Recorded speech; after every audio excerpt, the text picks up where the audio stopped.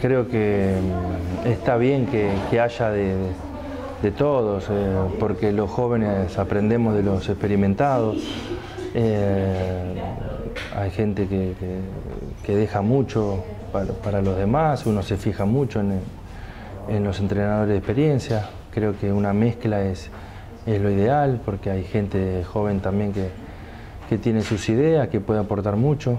Entonces, creo que está bien una mezcla de todo. No sé si es, si es mejor o peor, no, no, yo digo que es, es, un, es bueno que, haya entrenadores con, mucha eh, experiencia, con mucha trayectoria, eh, y es bueno que, técnicos jóvenes puedan también plasmar sus, ideas en, distintos equipos y en el fútbol argentino.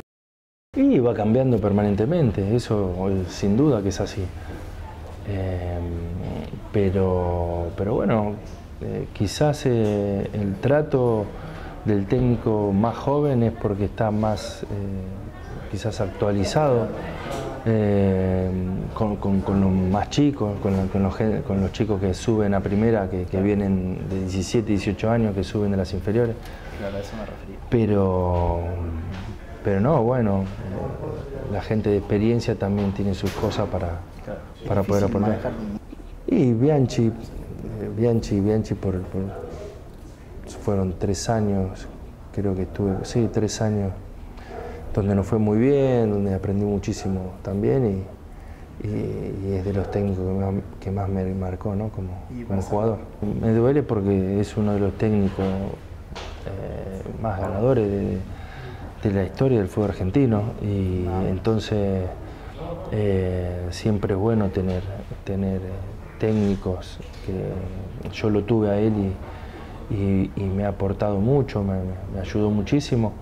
Entonces uno eh, quiere que, esté siempre trabajando, pero, pero bueno, son situaciones del fútbol que esto es muy ingrato y resultadista. Se le hizo difícil no poder trabajar tranquilamente semana a semana porque es un torneo, es un fútbol que se juega cada tres días, cada tres días, entonces este, los jugadores no están para, para trabajar en lo táctico, hacer fútbol, para ir corrigiendo y ajustando cosas.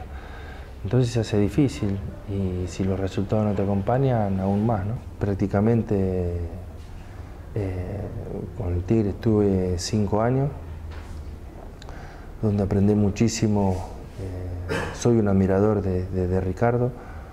Eh, tengo muchas cosas, por no decirte todas, que, uno va sacándole, robándole. Y, un agradecido, ¿no? porque me, ayudó muchísimo. Es un proyecto, como decís vos, de hace mucho tiempo, que la gente que, va viniendo y y que va llegando al club trata de, mantener ¿no? esa continuidad de, de, idea futbolística sobre todo, de mirar mucho las divisiones inferiores, eh, que ha dado resultado, entonces sería eh, ilógico ¿no?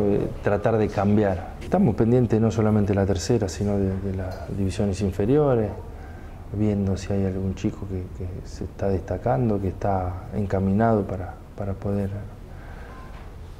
subir. y aportar cosas a, la primera división. Sí, ya hay que llevar, los chicos hay que llevarlo de a poco. Es un poco eh, particular porque al ser ayudante de, Ricardo muchos años, eh, en ese momento era el nexo entre, entre los jugadores y el técnico y, bueno, se, hizo una,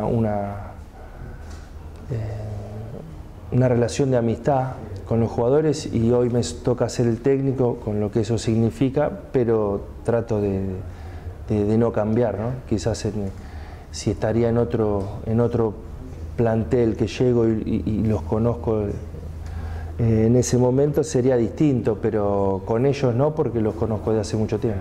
Es un jugador que piensa siempre en el arco rival, eh, de empuje, eh, con mucho sacrificio,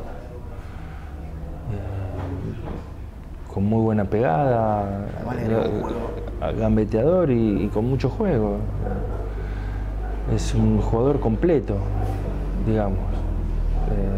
Sí, en lo físico, parecido a mí, bueno, sí, en lo físico quizás eh, la potencia, pero... Por allí está Prato, Laro, Prato, Prato, Prato, golazo, gol. Uno eh, trata de ayudarlo en lo, en cuando enfrentamos a un rival, decirle más o menos que, por dónde puede eh, él explotar mejor su, su poderío, ¿no? Eh, pero es un chico que, que, está permanentemente pensando en progresar y eso es, es buenísimo. Aquí está Sebastián Domínguez. La asistencia para Prato. ¡Prato!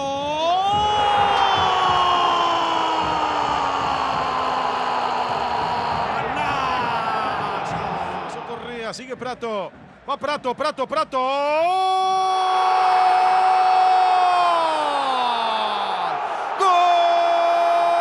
Y ahora me está gustando más, sí, sí, sí. Yo creo que con el tema este que por lo menos este año no va a haber descenso, eh, los equipos están arriesgando más, más allá de que sean, sí, que sean equipos que pelean el, el descenso, eh, se arriesgan con, con, una idea de, eh, digamos, de, de, más ofensiva. ¿no? no hay falta, dice el árbitro. A mí falta. A mí me pareció también. Pelota para Prato que parte habilitado. Caraglio va a buscar el pase. Pero se va Prato cara a cara. Prato cara a cara. Prato está, Prato está, Prato está. ¡Gol! ¡Gol!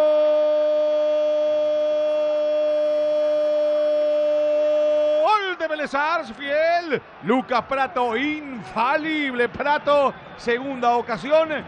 Pero creo que son los, los equipos que, que, que, mejor encaminados están para, para poder pelear junto con dos o tres más. Pero... Y lejos de Craneviter y delante de la defensa. Atención con Sánchez. El cambio viene muy bueno para Piccolici. Piccolici se mete en el área. Va Piccolici. Gran pase. Golazo, golazo, golazo de Teo. Golazo de Teo. ¡Gol! Y son más que nada recuerdos imborrables, ¿no?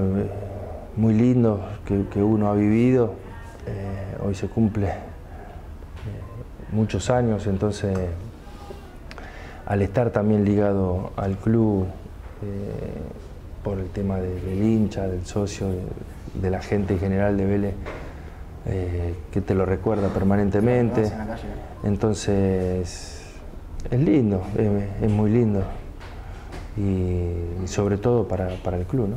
Son momentos que, que quizás hoy, hoy decís, eh, ha sido un logro, qué importante que fue, ¿no? Porque en ese momento uno quería jugar, quería ganar, obviamente, y no te dabas cuenta tanto la, la, la repercusión ¿no? que, que, iba a tener esto. Y por eso te digo que hoy capaz que resalto. Los padres son desde siempre, de chico. Eh, es verdad, vos vas al papi fútbol, vas a, la, a, ver inferiores y los padres de atrás quieren, sí, los vuelven locos los chicos. Eso, eso, y, y, son chicos, ¿no? uno los tiene que dejar tranquilo, que se puedan eh, hacer su camino solo, eh, como todo, como nos pasó a todos. Eh, pero a veces es difícil controlar eso.